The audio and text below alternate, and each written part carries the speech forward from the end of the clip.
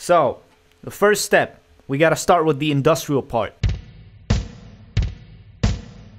Everybody knows that you gotta always start out with the drums when you're making a track. Fuck all the genres that rely on bass, melody, or chords or whatever. You gotta start with drums and drums only, okay? Because that's the focal point here. There you go, 96. Uh, you have your kicks. You gotta have like multiple layers of this shit. You, gotta have your goddamn trashy tin can snares.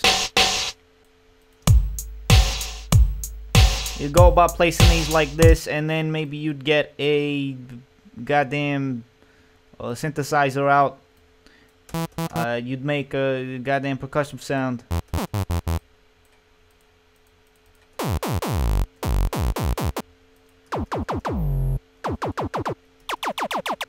I don't know, you you uh, play along with something like this.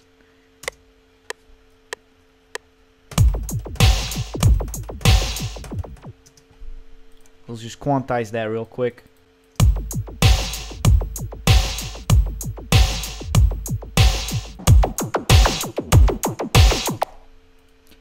Now this is great, but it's not enough. We need some fucking drum loops.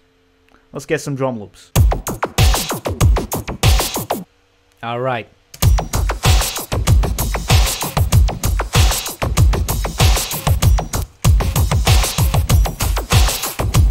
We got ourselves some beautiful drums. Benissimo, benissimo, bellissimo. I don't know the difference. So let's move on uh, to the next step. I forgot what it was. So bass is pretty important. I wouldn't say it's the most important thing, of course. Uh, next to guitar. If your song doesn't have a guitar, then uh, it's not a song. And normally I'd be like, dissonance theory, blah blah blah. What the fuck?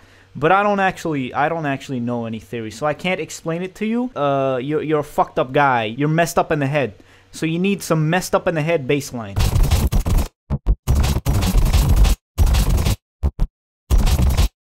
All right, so that was pretty easy.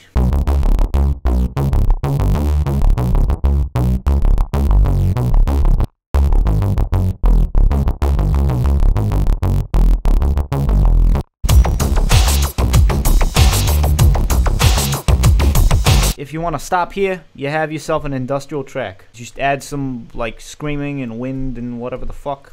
I don't know. Maybe maybe add some vocals like I wanna pet you like an animal. Uh, I don't know. That was a, that was a freestyle. So uh, thanks for watching, and I'll see you in the next music tutorial. Huh?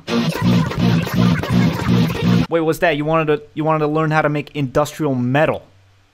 Okay, okay, all right. Let me just list out the, the, the list of things you need first. You need um, a, a guitar. That's about it. I do find that having an having a real bass sound really makes it sound a little better. Unfortunately, my bass is in the studio, and I'd probably be run over by a train trying to get there. So, see, sounds just like a real bass.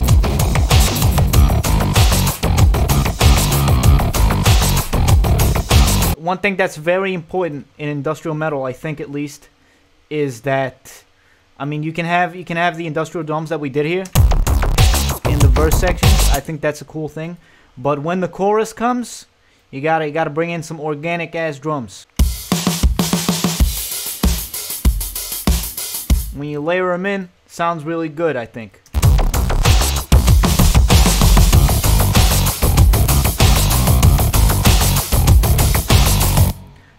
You're all, we're almost there. We're almost there. We just need one more thing.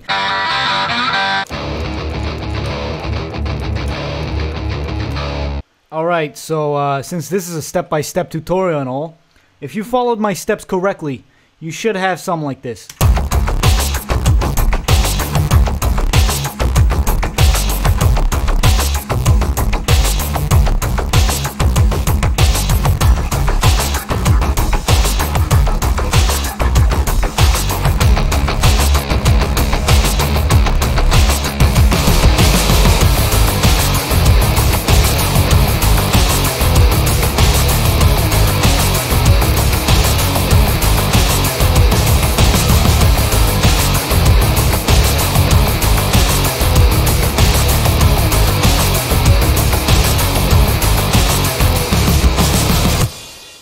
I know what you're thinking, right? That fucking sucked.